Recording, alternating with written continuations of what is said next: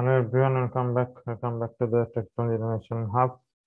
Going to be the 10th session uh, on achieving greater career heights. Uh, we have done uh, nine sessions at the moment. So let me share the screen. In the last session, we completed uh, the learning styles, right? Uh, we discussed three learning styles. The last one was the VARK model, the VARK or the VARK model. Having that understanding, so up next is going to be competency building. Competency building, right? So once you identify what kind of a learner you are, eh, as for the last uh, learning style, you may be a visual learner, you may be kinesthetic preference, you may be a reader, better reader, or you may be good at all four. So then it's time to feed the knowledge, feed the knowledge for an identified skill, for identified skill and build the competency. So that is how it's going to be. For example, if you are a good singer, right? So then you need to uh, feed the knowledge on improving that skill and build the competencies. If you are a good, if you have good ability for logical and mathematical, all right. So then you have to continue that track and feed the knowledge because that skill is there built in for you. So using the uh, learning style, so feed the knowledge, get the knowledge and feed the knowledge to the skill and make it sharpen and build the competency. So it's be like that, right? And so competency, the definition is there. You can see a set of individual performance behaviors are observable, measurable, and critical to successful individual and company performance. So actually, yeah, it's, it's understood because as individual, you should have to build the competencies, then uh, you have to add the value for the organization's core value chain. So that is how it's going to be. So it's effects for you as well as for the organization. Then second point, individual characteristics of a person which result in an effective and superior performance in a job, right? Competency. Yeah, understood because if you have uh, mastered on certain skills, that means you have built your competencies at the mastery skill so that you can do a professional job there. You can guarantee a completion of a task without any doubt. You can say, I can complete in this way on this time and it's guaranteed like that. So that is because you have mastered your competency. Right? So if you go to this link where the definition came from, it's from uh, management study guide. So just go to this one and uh, this is the definition that I have taken. So it explain the same thing in a little bit detail which I have explained up to now, right? So these uh, details are there, right? So just uh, go through it uh, likewise. Management study guide and so we have the explanation. So how do you build the competencies? So it's like a ladder like this. So mainly we have to talk about four levels of competencies, four levels of competencies. Right? So the very first thing starts from unconscious incompetence. Unconscious incompetence. It's like this. That that means you don't know that you don't know something. very simple. You don't know that you don't know something. For example, very famous example is riding a bicycle, right? Riding a bicycle. Till you get in and to the bicycle and fall off, till you uh, fall down, right? Because you cannot handle the balance and all, you may be thinking that you can ride a bicycle because others are riding, right? People who have uh, built the competency of riding a bicycle, they just get in and go, no. So by looking at that as an individual or as an intellectual, you may also think, yeah, you also can do it. Then you get in and you fall. right? So till you fall, you don't know that you don't have that competency, right? That is unconscious. You don't know that you don't know. That's the very first level of competency. So once you get to know that you don't know of that particular, how to do that particular activity or particular task, then you becomes aware that you can't do that or that you don't know it. Right? Other than can't do it, initially you may can't do it, but you get to know that you don't know how to do that. That is, you are becoming conscious incompetent. Now you know you can't. That's why because you fall off the bicycle, you fall down. Now you know you can't ride a bicycle. That means you get the awareness that you can't do it without some practice.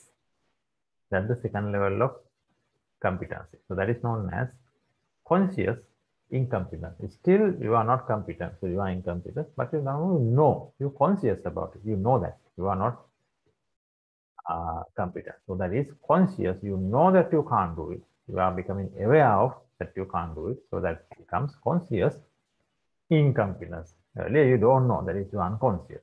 Okay. Now you got to know you can't, you don't know, you don't have the particular practice to do that task. So the third thing in the ladder, what is the third step? Now you start mastering that skill. You start feeding the knowledge. So you so somehow uh, with the assistance of a coach or a, whoever, uh, maybe another master who, who is who has well practiced about riding a bicycle, you take in the assistant from his, right? And you are getting the guidance, maybe a trainer, right? Trainer. Coaching is a different thing, training is a different thing. So at this moment, uh, you are getting the assistant of a trainer. So trainer, you come and uh, tell, okay, this is how you should take the balance. This is how you should start riding a bicycle and likewise. So now what you are doing? You are learning it, right? That means you are building your uh, competency. You're building your competency. So then you become what? Now you know you can't do the task. Since you are getting training, you become competent on that. So you are developing your skill.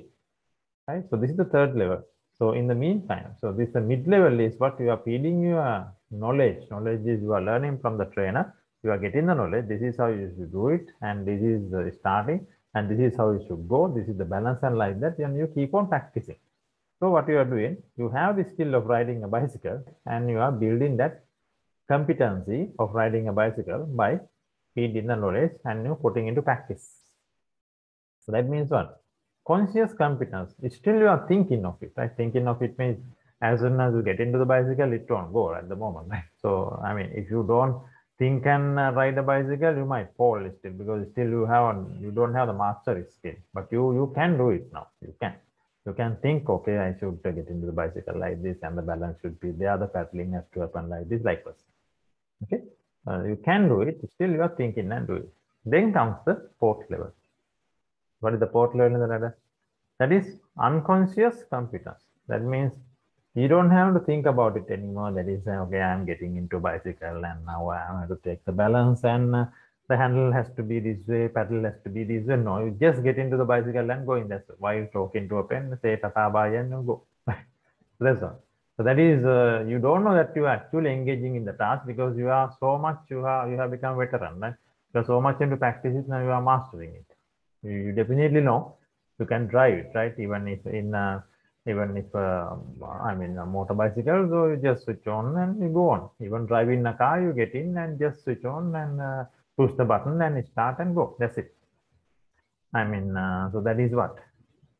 Unless uh, somebody trying to get hit, hit, I mean, get into the road, you need to uh, put the brake on the car. It will be stopped. But till that, till that time, uh, you can just go on, right? Keep on going. You don't have to worry about how you, how the steering handling, and automatically those things happen. That means you have mastered that one in case of driving a car.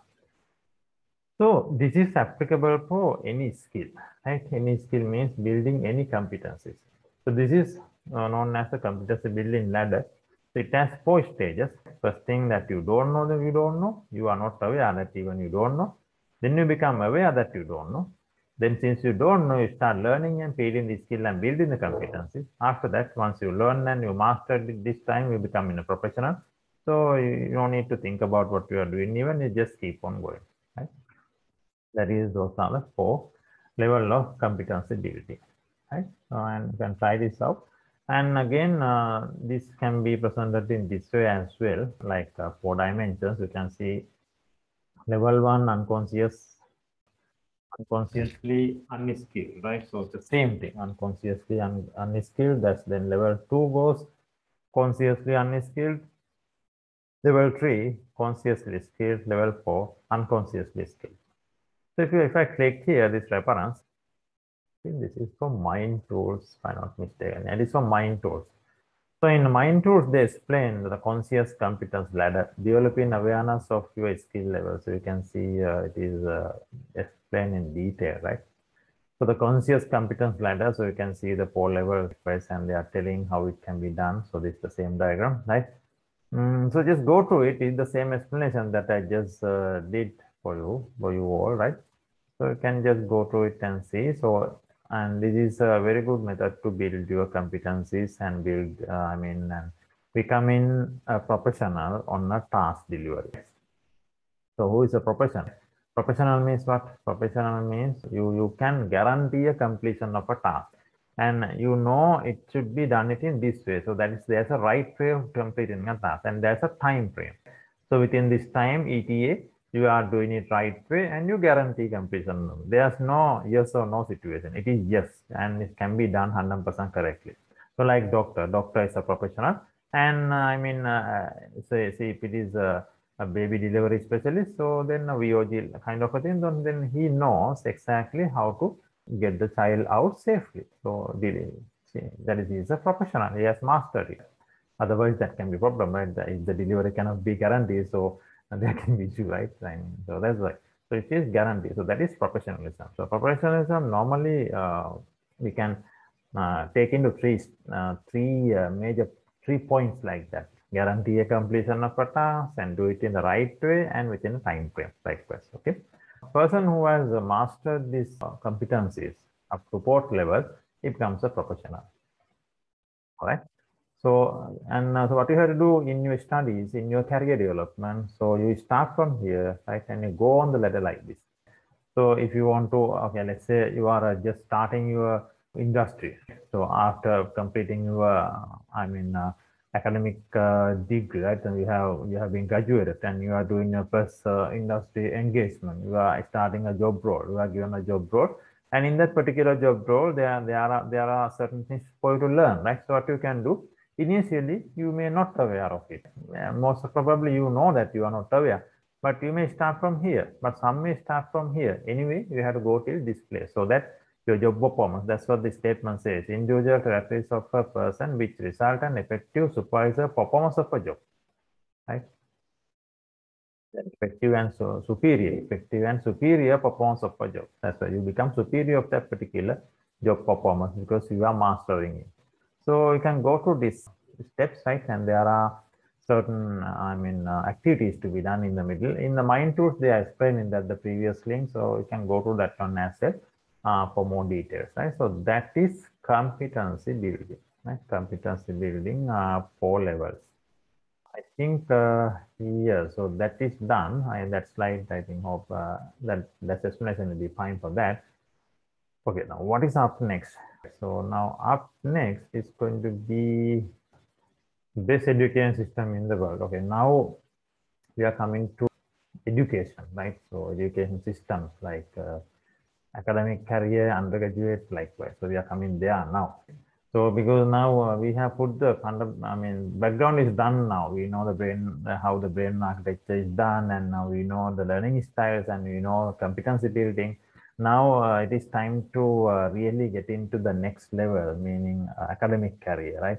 So academic career, industrial career, and a professional career, right? So we, we have to go in those uh, three stages. So let's see how it can be done in the uh, next uh, set. So, all right. So I'm going to stop here. I'll meet you soon. Okay. Have a great time. Bye bye.